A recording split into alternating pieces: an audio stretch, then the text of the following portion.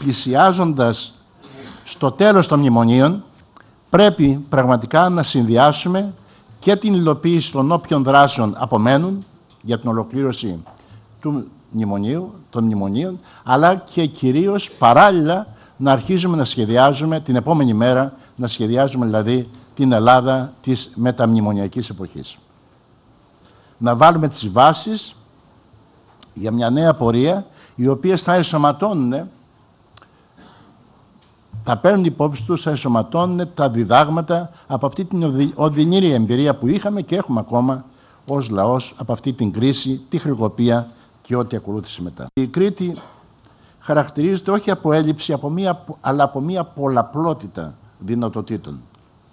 Η Κρήτη ήδη τώρα που μιλάμε είναι ένα κέντρο τουρισμού και πολιτισμού με παγκόσμια εμβέλεια και διακριτή διεθνή ταυτότητα. Ταυτόχρονα η Κρήτη έχει τις προϋποθέσεις να καταστεί ένα διεθνές κέντρο έρευνας, επιστήμης, καινοτομίας, συνάντησης πολιτισμών, ένας πολυδύναμος ενεργειακός κόμβος. Είτε βρούμε είτε δεν βρούμε υδρογονάθεκες στις έρευνες που ξεκινούν, αλλά και ένα ταυτόχρονα καθαρό ενεργειακό νησί. Οι διακλαδικές διασυνδέσεις του τουρισμού με την αγροτική και τη μεταπητική παραγωγή είναι πολύ αδύναμες ακόμα.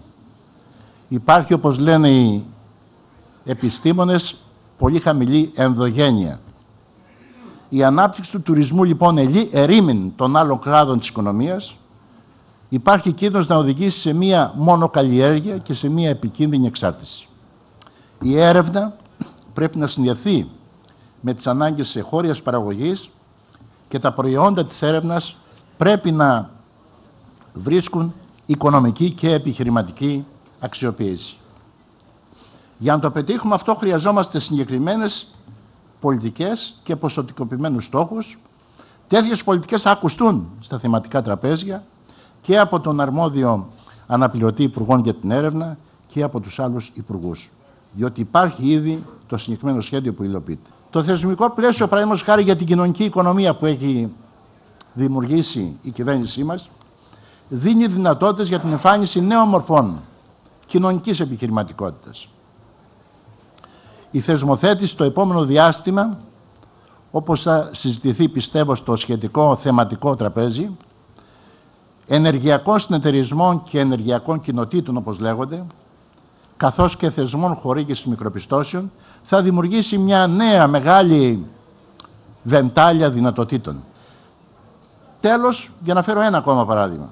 Ο θεσμός των εταιρικών ομολόγων, που η δική μας κυβέρνηση δημιούργησε πριν από δύο χρόνια και ο οποίος αξιοποιείται με επιτυχία από τις μεγάλες επιχειρήσεις.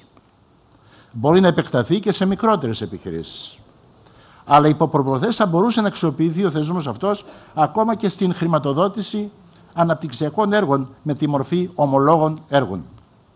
Έτσι θα μπορούσαμε πέρα από την ευρωπαϊκή, την τραπεζική, την κρατική χρηματοδότηση να ερευνήσουμε τη δυνατότητα χρησιμοποίησης και τέτοιων πηγών χρηματοδότησης από τους ίδιους δηλαδή τους πολίτες, όπως έγινε τότε με τις ακτοπλοείες, για έργα που καλύπτουν ανάγκες των πολιτών και των τοπικών κοινωνιών. Όλα αυτά βεβαίως αποτελούν θέματα προς περαιτέρω διερεύνηση και μελέτη.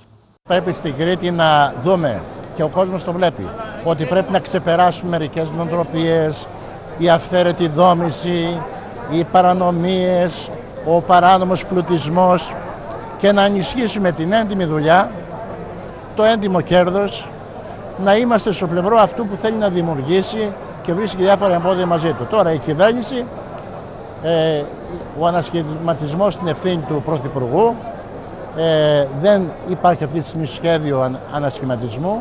Αν υπενήσεστε ευθύνη, ευθύνης υπουργών κλπ. Εμείς αυτό δεν έχουμε κανένα πρόβλημα. Είμαστε εδώ για να υπηρετούμε τις ανάγκες του λαού με βάση το σχεδιασμό της κυβέρνησης. Εφόσον γίνεται λάθη, τα λάθη θα εντοπίζονται, θα αναγνωρίζονται, θα διορθώνονται. Δεν είμαστε κολλημένοι με τις καρέκλες. Επομένως και τέτοια θέματα, αν υπάρξουν, όπου υπάρξουν, θα αντιμετωπιστούν.